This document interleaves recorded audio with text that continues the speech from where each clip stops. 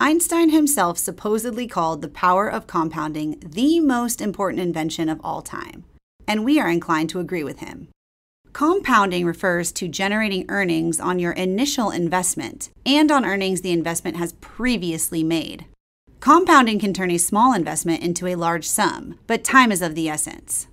Put simply, the earlier you start saving, the more compounding can work its magic. In order to best illustrate this concept, let's have a quick look at both Amanda's and Stephen's different saving approaches.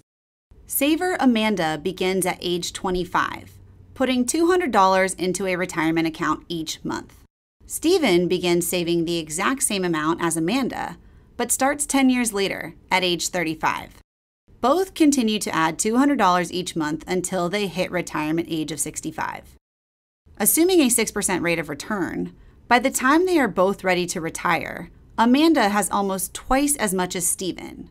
Amanda has $402,492, and Stephen has $203,118.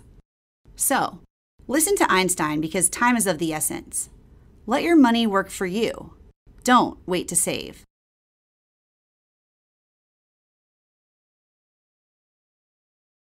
Important disclosure. This recording has been provided for informational purposes only and should not be considered as investment advice or as a recommendation.